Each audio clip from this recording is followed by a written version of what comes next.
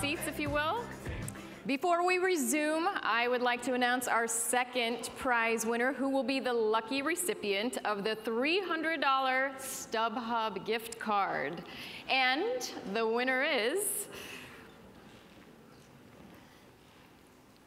Bill Dugdale. Is Bill here? Do you see him?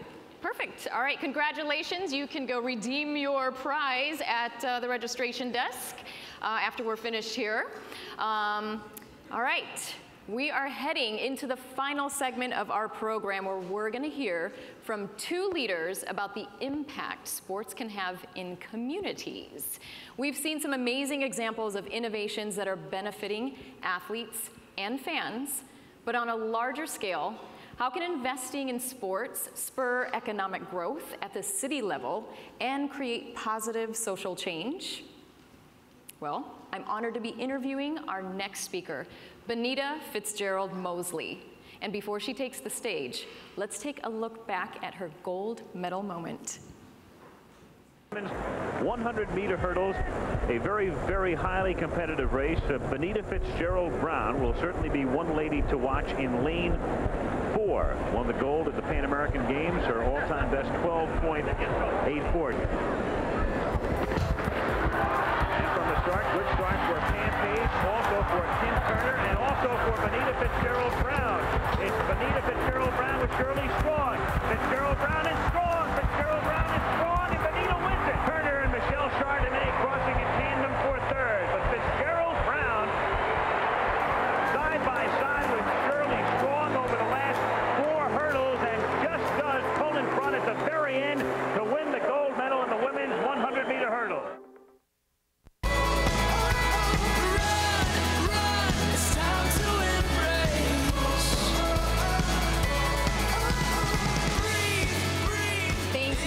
For being here. First of all, as I watched that video, that is so exciting. What must be going through an athlete's mind when you are on the starting line? So a couple things your coaches always tell you, and main thing is run your own race. You gotta focus on the finish line. You gotta focus on your own race. As you can see, I only won, I should say only, you separate, separated from the gold and silver, but four hundredths of a second. Um, and I had an even closer race at the Olympic trials in 84. I won, uh, I made that team by one one hundredth of a second. Four of us crossed the finish line pretty much virtually at the same time, one one hundredth of a second. It was the closest race in track and field history at the time. And so I'm used to close races, and so the, the final piece of advice that your coach always gives you is run through the finish line. Don't ever take anything for granted. Don't start celebrating, you know, Yeah. yards before the finish because somebody might outlean you. That's great advice, but not only did you win the gold medal, you also made history. You were the first African American woman to win a gold medal. That not only is hurdles, in the 100 meter hurdles. I mean, you really like set the pace for women, you know, to look up to you and be an inspiration to others. So that's incredible right we there. had a, I don't know if uh, many of you saw this past summer, well, in Rio, uh, three women, American women, uh, swept the 100 meter hurdles. Did they? At the Rio Olympic Games, the first time that event's been swept by Americans ever in history. So we went from me, the first, to then three African American women going one, two, three, gold, silver, bronze in That's Rio. incredible. We're going to talk more about your career, but as you mentioned that, you worked for the USOC. I did. And let's talk about what you did. So in 1984, you know, you win the gold medal for the 100 meter hurdles, um, but then you go on to work with the Olympics. Right. In, uh, tell me a little bit about the London Games and what your responsibilities were and what you brought to that team of your own, this new team that you created, and what you did.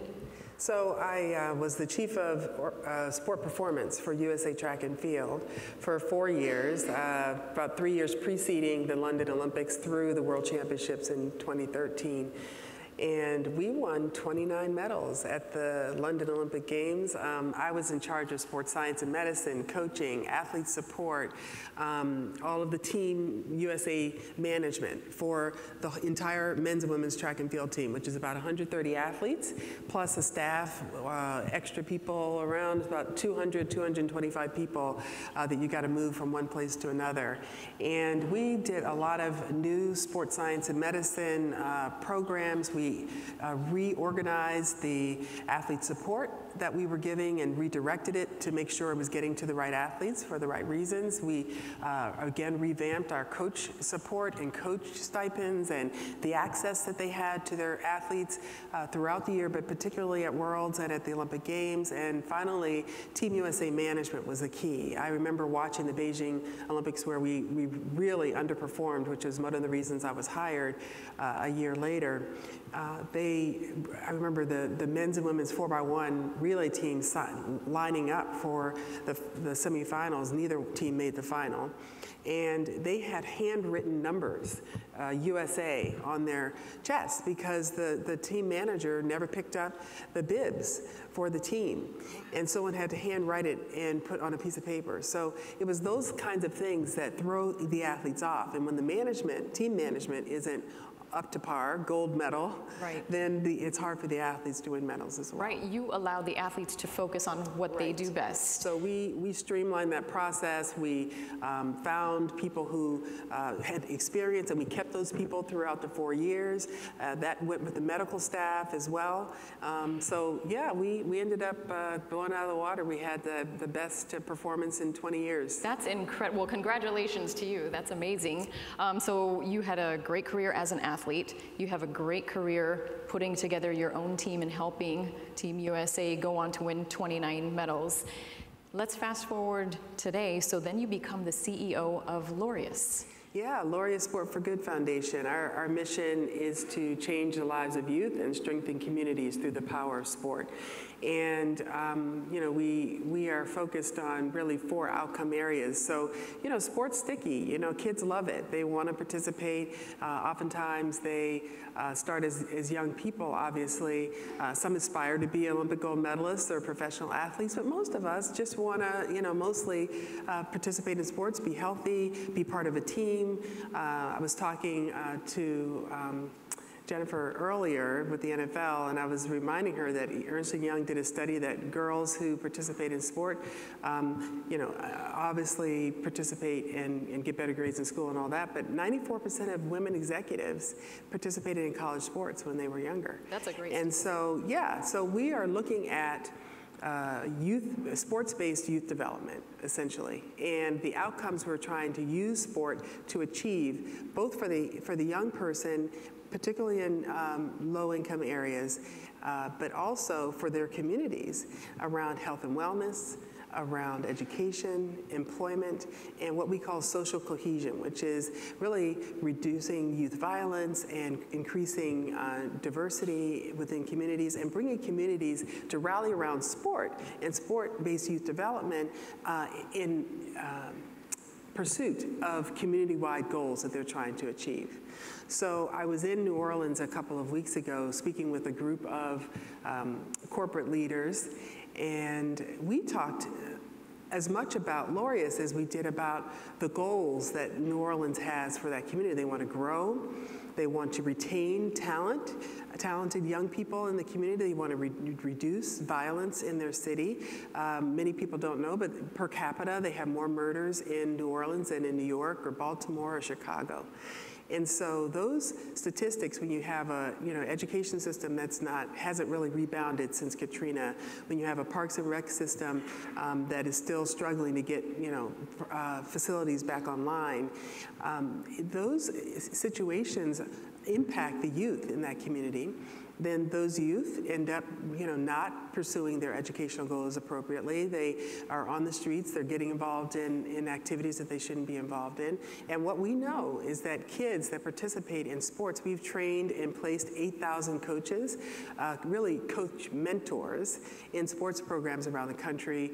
We've impacted over half a million kids in the last four or five years, and we're focused now on creating uh, programs in communities. So Sport for Good New Orleans, Sport for Good Atlanta, and we'll be rolling out Sport for Good New York and Chicago in January.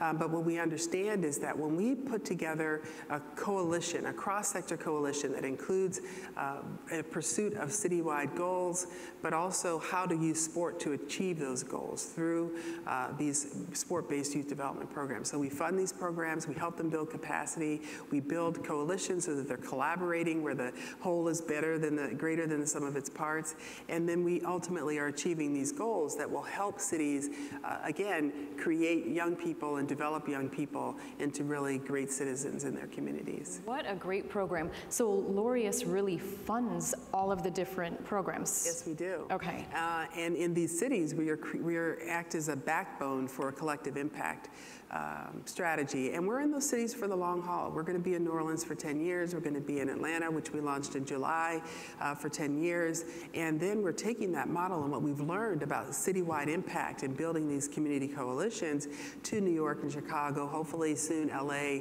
Houston. Uh, our goal is to be in 20 cities by the end of 2020. It's a very lofty goal, but I'm fast, right? I'm a, I'm I- a sprinter. I'm an athlete. I have a feeling you can get this done. Yeah. yes, Um, let's go back a little bit how Laureus was founded. I know Nelson Mandela has a connection to this. He does. Our founder is uh, Johann Rupert. He's the founder of a company called Richemont, and they are a luxury goods company. They um, own Piaget and um, Cartier, Montblanc, and Van Cleef and Arpels, and, and many, many other luxury brands. And he's a South African. And when he uh, was, you know, home, he was in South Africa during the Invictus story. Many of you have seen the movie with uh, Morgan Freeman and Matt Damon, uh, depicting the South African rugby team that won the World Cup. And at the time that Nelson Mandela had just been elected president of this country, that was certainly still racially divided. And the blacks and whites came together to cheer on their, their rugby team. And he saw the power of sport heal a nation. And he thought, I want to celebrate the power of sport and the excellence in sport. So he created the Laureus World Sports Awards in 2000 the very first one in Monaco, and, and Nelson Mandela, friends of, of Johann Rupert for many years, he invited him to speak, and he, he uh, spoke and said that sport has the power to change the world. It has the power to inspire. It speaks to youth in a language they understand. Sport creates hope where once there was only despair. And he spoke those words, and many people, you know, hear them or por- portions of that quote, but it, they were actually spoken at the very first Laureus World Sports Awards. So we have the World Sports Awards that happen every year, celebrating the best uh, athletes and teams in the world. And we have about 200 ambassadors and academy members who are iconic athletes in their own right. Uh, four of them are on my board Marcus Allen from football, Edwin Moses, one of my teammates in track and field, uh, Michael Johnson, who came in a little after me uh, with the golden shoes, and Nadia Comaneci, the, the iconic gymnast. and so, yeah, they're all on my, on my board at, of Laureus USA, and they help inform, you know, the programming that we do, and they, among, you know, the 200 100 athletes around the world really lend their name and their likeness and their, their time and energy to really 150 projects around the world. So I'm Laureus USA, but I'm part of nine national foundations that are serving in 35 different countries. And so we are we have a big footprint. Uh, those athletes that gathered together in 2000 were so impressed and impacted by Nelson Mandela's words that they founded the, the foundation. And it's really had an impact on millions of kids around the world, creating peace in the Middle East and, you know, introducing kids to sports and experiences that they otherwise couldn't and wouldn't have. Sport really is powerful. I mean, the, it's proof right there. And I think we need more programs like this. So, for something to get involved, for our audience here today, um, if they want to get involved, what is the best way? I know, are there websites? And I know there's a new program too that you Yeah. introduced as well. But let's, you know, engage people how to contribute to this or how to support it and get involved because I think it is truly important that more programs like this are supported because it is having such a great impact on youth, the communities, and thank you for being involved in this and It's taking what you've learned, Yeah. you know, My- along the way. My passion's been to, you know, help others achieve gold medals in their lives, just like I got to on the track. And um, what better way to do that than influencing young people and communities? So it's fun. Yeah, we have a website, laureususa.com. You can follow us on Twitter um, at laureus underscore USA. And then, if you would like to get more information, uh, we're going to be launching a Sport for Good League in January. And uh, as we roll these chapters out around the country, we're creating membership, online resources, and this Sport for Good League will encompass all of that. And so uh, if you go to map.laureususa.com, map.laureususa.com, then uh, you can sign up. And when we launch in January, you'll be flooded, your inbox will be not, not flooded, but you'll be getting information as to how to access the league, which is fun. Yeah, that's exciting. So, what's next for you? What are what are your hopes for the future? Yeah, I mean that's it. I mean we're, we're really wanting to um, to grow this community impact through sport, and we we are looking you know at part, various partnerships. Uh, you know I'm talking to the U.S. Olympic Committee, and internationally talking to the IOC. We are um, partnering with uh, organizations like Let's Move, Active Schools. Uh, we have new corporate partners like Nike that are joining us in, in Sport for Good New York, and so the, that those funding and those strategic alliances are helping us grow a, at a faster pace because we really feel like we want to elevate the conversation about how sport can be used as a tool for social change. And I think we all inherently, those of us who participated in sport, understand the personal lessons that we learn and how we develop, you know, from a teamwork and perseverance and all of that. Clearly, women executives have figured that out. Um, but we uh, also know that the, the, the communities need to have this develop, you know, community development as well, and we think sport is, is a tool for that. In Atlanta, in particular, uh, again, having just just launched in, in July, we are really focused on uh, the education sector in three neighborhoods in the West Side, which most of us saw the brand new Mercedes-Benz Stadium uh, open a couple of weeks ago. And these neighborhoods are in the shadow of the stadium, and Mercedes-Benz is one of our top, in addition to Richemont, top uh, sponsors. And so they wanted to ensure that even though they're building this big, beautiful stadium, that that, along with the Arthur Blank and, and the Falcons, obviously, that we are really in service to those communities that surround it. And so these kids are, are going to benefit from sports program, 14 different sports programs that we're funding in Atlanta. And, uh, and a broader coalition of sports organizations. So these organizations were either already operating in the West Side or, uh, or they are using the funding to take what they're already doing in the greater Atlanta to these, this, neighborhood. And again, it's another neighborhood plagued with crime, uh, one of the highest crime neighborhoods in the, in the country, most underserved. And, um, and we want to, you got to go you know, where the problems start. And that's kids at a young age and providing them a different path. And so we think through sport they can find that different path. So wonderful. Well, thank you for doing what you do. You are having such an impact in communities, in these kids' lives, and in all of our lives. So um, I just want to thank you for being here and for sharing everything that was very insightful. And I'm sure that we all learned a lot from this. Um, so what we're going th- to I think I want to say one more thing. I know uh, many of you, the Chamber of Commerce, I've served on a couple of chambers in Colorado Springs and in Northern Virginia as well.